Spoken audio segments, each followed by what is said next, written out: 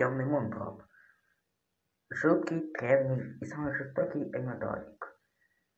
Живет в местах проведений сатанинских ритуалов.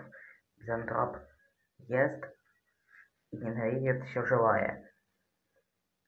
Жертв более 12 тысяч. Характер зловещий.